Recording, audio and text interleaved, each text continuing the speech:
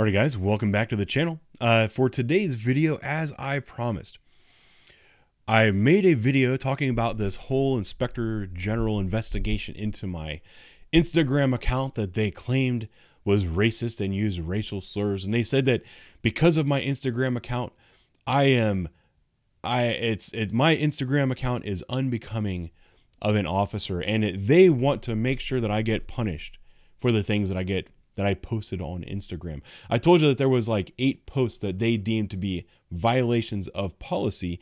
Today we are going to talk about the first one. Uh, this post right here, they decided was a violation of city policy. Now, we're going to talk about this meme and what it says and what it means to me and why I posted it and why I don't think that they have the authority to tell me what I can and cannot say about this particular situation. But before that, I want to remind you what the Civilian Review Board had to say about it. So I'll be back in a minute. Go ahead and listen to um, Willard McIntosh describe this meme. The photo depicts a meme of SpongeBob SquarePants with Mayor Andrew Ginther superimposed over the top, with him appearing to say F12, which is slang for F the police, and burning a piece of paper that says, if you support the police instead of criminals, crime will go down. The officer stated that he created this meme and stated that his intent behind posting the photo was to talk about policy and things that should be done to stop crime, but are not being done to stop crime.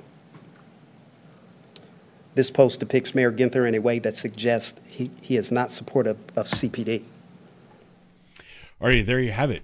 According to the Inspector General and the Civilian Review Board, this post depicts Mayor Andrew Ginther in a way that suggests he does not support CPD. I, I want to I'm going to classify this as thou shalt not speak ill of the king.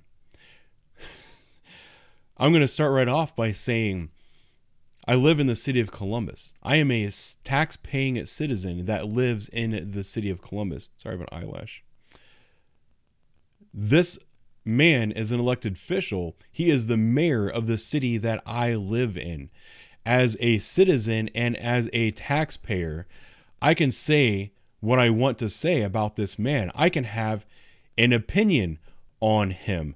I can have an opinion that is shared by thousands upon thousands of people about this man. And if I want to make a meme that suggests he doesn't support the police, I can make a meme suggesting that he doesn't support the police. That is my First Amendment right. Nobody in the government has the authority to tell me what I can and cannot do when I'm when it comes to talking about the mayor of the city that I live in. Now, regardless of the fact, if you want to say, well, you have an opinion, but your opinion is not truthful, well, let's go through some examples and then you can tell me whether or not my opinion is based in any kind of reality or if this is just something that I just pull it out of thin air and then I'm a giant, I'm a big fat liar and I shouldn't have said these things. Uh, so the first article that I want to have, and I'm trying to keep these in chronological order. Uh, this is an article from November of 2020. This is the fall after the summer of love. Uh, it says Columbus activists say city budget's proposed police cuts are a tiny baby step. And right here, the Columbus Division of Police may be facing a $20 million budget reduction next year. Andrew Ginther unveiled his proposed 2021 budget on Thursday. So, Mayor Andrew Ginther, as seen in this picture, proposed a budget where he reduced the police budget by $20 million. This was something that was known as defund the police. This is something, this defund the police notion, which is one of the stupidest ideas I've ever heard in my life. It fooled a lot of really stupid people, including the mayor of Columbus, Andrew Ginther, who decided to reduce the Columbus Police budget by $20 million, which I'll mention that the following year he had to increase it by another $9 million because he realized the folly of his ways. But this is also the thing, this defund the police thing was something that we're told didn't happen. We're also told that it was the Republicans that want to defund the police. Mayor Andrew Ginther is definitely not a Republican. And it definitely did happen. He re- reduced the police budget by $20 million. And this is right after the riots where activists, the same activists, tried to burn down the city. And they actually burned down millions of dollars worth of property in the city while doing so. Uh, the next article that I want to bring up for you is um, a story that says three Columbus police officers are facing criminal charges stemming from the 2020 riots. I don't know why they keep calling that something other than a riot, but these police officers were charged by a man named, I think his name is Richard Dick. So, Dickhead Wozniak, a retired FBI, I can't click there because it's a link. A retired FBI agent was hired by the city of Columbus to investigate police officers and their response to the riots. He was hired with the purpose of filing criminal charges against police officers who had uses of force in response to people that were breaking windows, vandalizing buildings, lighting buildings on fire, pulling people out of cars, and beating the ever living shit out of them the mayor's response to these riots was to go after the police. He also set up like within 24 hours a hotline where you could call in and make complaints against the police specifically stemming from the riots. He never made a hotline like this for business owners or for people who were pulled out of their cars and beaten up. Um, never set up any kind of restitution fund for the people whose lives were turned upside down by the riots that occurred in 2020. But what he did do is he hired a retired FBI agent to go after the police officers. By the way, all the charges ended up being dropped. A couple of the trials, the a couple of these went to trial and the officers were found not guilty. The special prosecutor Kathleen Garber right here ended up quitting and resigning before the third case even went to trial because it was a fucking joke. So, anyway, here's another one where it says arbitrator rules city cannot hire an independent contractor to investigate Columbus police. This is a situation where the mayor of Columbus hired an outside law firm called Baker Hostetler and paid them more than $600,000 to investigate the police response to the riot he did not put this kind of effort and resources into prosecuting the rioters that caused all the damage downtown, caused businesses to move away from downtown, caused residents to move out of downtown, making it a virtual ghost town for a long period of time. He didn't care about that. All he cared about was going after the police department. That would cause someone potentially to believe that he cares more about criminals than he does about police. This happened at the same time that the city of Columbus, through the city attorney's office, dismissed over 2,000 criminal charges. The majority of them were against the rioters who were arrested during these riots. If you are actively dismissing charges against the rioters and actively pursuing charges against the police department, do you think that would cause someone to believe that you're supporting criminals instead of police? I think that would be a fair assumption. Uh, here's another one where this was in uh, August of 2020. This is a few months into the summer of love. Um, this article talks about how uh, violent crime was up dramatically since the riots began and the mayor, Mayor Andrew Ginther, had some things to say about it. Where is his favorite line? Here it is. We know we can't police our way. We can't police our way out of everything that has happened, and that the spike of violence we are seeing, there is a very small number of folks that are creating a disproportionate amount of mayhem and violence. Well, I want to tell you a little story about police officers. This actually happened across the entire country, and it also happened in the city of Columbus. There were riots that happened in the summer of 2020. The response to those riots was to go after police officers and tell them, you know what? If you go after these criminals, but we find the slightest error in your response to that, we are going to make sure you are criminally charged and we are going to release those criminals. That set into a police officer's mind maybe I shouldn't aggressively go after criminal activity.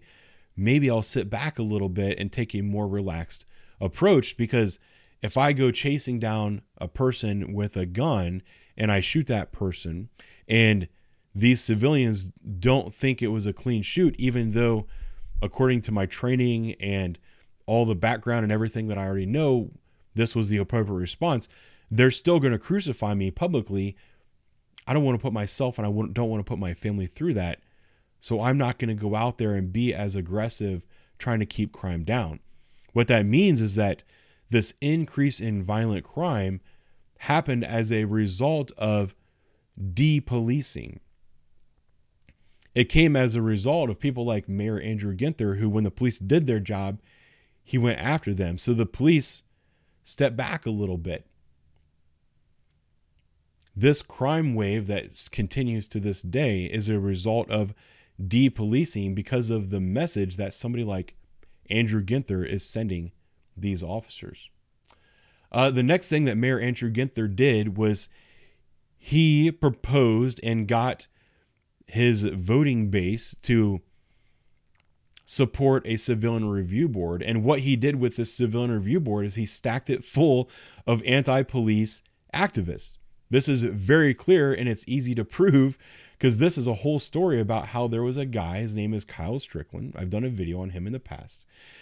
He was nominated for the Civilian Review Board, and before he was confirmed, he went out on social media after the Ma'Khia Bryant shooting, and this is what he said Do not let anyone tell you that you must wait for all the facts while they simultaneously frame their own narrative of what occurred. We've seen this story before. Kyle Strickland outed himself as an anti police activist and he was still put on the Civilian Police Review Board. If you watch any of the Civilian Police Review Board meetings, it's very clear that every single person who was put on that board, maybe not every single person, the majority, let's put it that way, has some kind of anti police bias. They don't understand how it is that the police do their job. They don't understand the rules that they're supposed to be enforcing. They also don't even understand their role in this process because all they care about is trying to hammer police officers. Here's a story. Uh, this is very recent. This is April 24, 2023. It's just a week or so old. Uh, three people were added to the Civilian Police Review Board, and two of them don't live in the city of Columbus. There were three vacancies on the Civilian Police Review Board.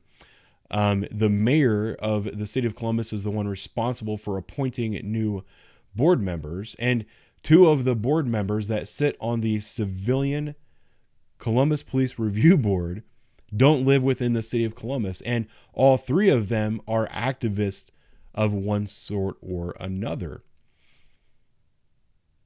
Are you really telling me that in the city of Columbus, that has a residency of about 800,000 residents, you're telling me that you can't find three people within the city of Columbus that are intelligent, unbiased observers that are willing and able to get onto your civilian police review board. You're telling me that you have to go outside of the city of Columbus to find people who are able to do this, and then the three people that you find are political activists. Go ahead and try to tell me that you support the police when you're doing stuff like that. Here's something else I want to show you. See, this is some graffiti. And then here's some more graffiti. The graffiti on my right, this was spray painted on High Street, which is the main thoroughfare thoroughfare during through downtown. On the roadway, it says ACAB, uh, fuck, pe- fuck pigs, BLM, fun schools. Okay. But there's multiple anti police slogans painted on this roadway. That's an undeniable fact. On the other picture, in response to the summer of love and the riots and the burning and the destruction that occurred, there was a counter protest that occurred on a different street. It was Front and Marconi, maybe, which is really close to police headquarters. This other group of protesters went out and they painted back the blue on the street. Now, this BLM, ACAB, fuck 12, all this, this kind of graffiti, this kind of graffiti stayed on the city streets for weeks, if not months. The back the blue was cleaned off the street the same night.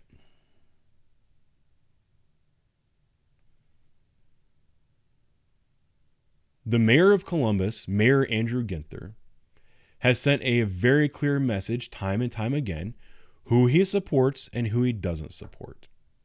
I can tell you that right now, currently, it's clear to me that the poll numbers have changed and the activist and his voting base has started to modify their stance on the police. So he's coming out trying to position himself in a way that says that he does support the police. I'm going to sit here right now and tell you that he's lying. That his true self is this one. This is who he really is. This is who he really is. This is who he really is. This is who he really is. He's a defund the police mayor who aggressively sought criminal charges against police officers while dismissing charges against rioters. He let anti police graffiti sit on the streets for weeks and months, and he made sure that messages supportive of the police were removed immediately. That's who Andrew Ginther is. He is the mayor of the town that I live in where I pay taxes. He is an elected official. This is the reason the First Amendment exists. You cannot make a rule at my employer telling me that I cannot criticize local elected political officials. That's all I'm going to say today. Thank you for watching. I'll talk to you later.